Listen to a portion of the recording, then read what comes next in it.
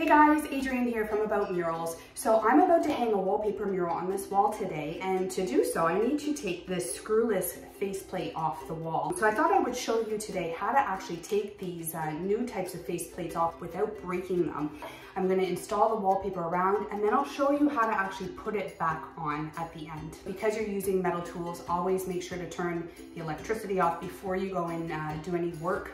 I have done it, it doesn't feel good, uh, so definitely turn the power off. So that's step number one. There are some that have little holes in the bottom, so you just take a screwdriver, you sort of put it in the bottom and you twist it off. But this type here, it actually has grooves um, on the bottom and the sides instead, and there's no hole for you to use a screwdriver. So you use your fingers uh, for this type of so, um, faceplate here. I find the best way is to use your knuckles on the wall and your thumbs against the plug part. Um, since the power is off, it's safe to do that. So you use that and almost use it as leverage to, to pull the cover off. So you stick your fingers, see how that sort of pulls away from the wall. So you're gonna stick your fingers in there, push your knuckles against the wall and pull against your thumbs.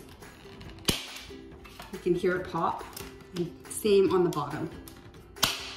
Okay, and because we're putting wallpaper on the wall, I'm actually gonna remove this part of the plug as well um, so that I can get in really close with the wallpaper. You're gonna wanna do that if you're painting the wall as well so you don't have to cut in against this and potentially get paint on this part of the plug. So I'll show you how to do that next. So I'm gonna remove the two screws, one at the top and one at the bottom that's holding the actual plastic plate cover in place, not the screws that's holding the plug um, in place on the wall. So there are, there's a screw here for the cover and there's a screw here for the actual plug. So you wanna leave the plug alone.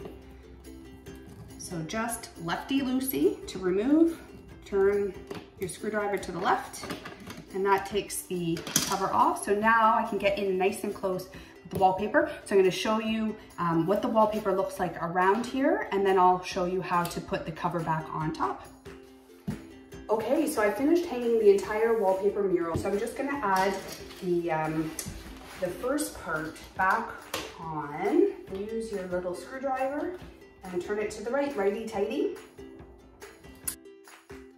And now the second part is just taking the, the faceplate and it snaps into place. So you can just sort of, you can feel it fits into the hole and then just snap it